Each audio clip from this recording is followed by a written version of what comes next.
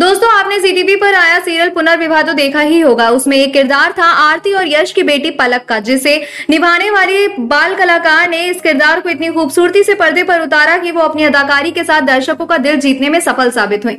लेकिन दोस्तों serial of air हुए काफ़ी साल बीत चुके हैं, पर क्या आप जानते हैं, बीते इन सालों में यश और आरती की बेटी पलक का किरदार निभाने वाली चाइल्ड आर्टिस्ट आज साल 2022 में कहाँ है, क्या करती है और कैसी दिखती है? अगर आप भी इन बातों से रूबरू होना चाहते हैं तो हमारे साथ वीडियो के अंत तक बने रहिए और साथ ही इस क्यूट चाइल्ड एक्ट्रेस के लिए वीडियो को लाइक करना ना भूलें। जीटीवी के पॉपुलर शो पुनर्विवाह में यश और आरती की छोटी बेटी पलक का किरदार निभाने वाली चाइल्ड आर्टिस्ट का असली नाम पलक दे है, जिनका जन्म 13 फरवरी 2007 को दिल्ली में हुआ था।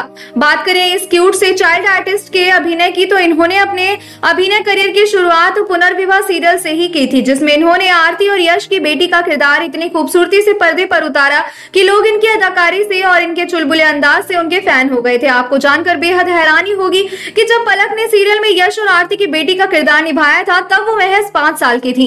फिर भी इतनी छोटी सी उम्र में दर्शकों का दिल जीतने में सफल साबित हुई थी। और यही कारण था जिसके चलते इन्हें टीवी के कई शो में काम करने का मौका मिला, जिसमें एक रिश्ता ऐसा भी था।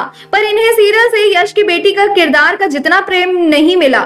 इसके अलावा बता दें, पलक जैकी श्रॉफ की फ़िल्म मखमल में भी काम कर चुकी हैं और आज भी पलक को पुनर्विवाह सीरियल में आरती और यश की बेटी के किरदार के लिए जाना जाता है। लेकिन दोस्तों, आज पलक को इंडस्ट्री से दूरी बनाए काफ़ी समय हो चुके हैं। बीते समय में पलक अब काफ़ी बड़ी हो चुकी हैं और अपनी 14 साल की उम्र कंप्लीट कर चुकी हैं और पहले के मुताबिक बेहद खूबसूरत और हेल्दी नज़र आती हैं। हालाँकि आज ही लाइमलाइट से दूर है, पर इनकी कुछ तस्वीरें देखने को मिलती है, जिसमें आप देख सकते हैं इनके चेहरे पर पहले वाली मुस्कुराहट आज भी बरकरार है और ये उतनी ही क्यूट नज़र आती है जितना की पहले थी। और फ़िलहाल ये अपनी पढ़ाई पर फोकस कर रही है। वेल well, दोस्तों आप पलक दे के आज के बारे में जानकर क्या कहना चाहेंगे? आप हमें अपनी राय कमेंट बॉक्स में कमेंट करके ज़रूर बताएँ। साथ ही टीवी इंडस्ट्री से जुड़ी ऐसी तमाम खबरों को जानने के लिए हमारे चैनल को सब्सक्राइब करना ना भूलें।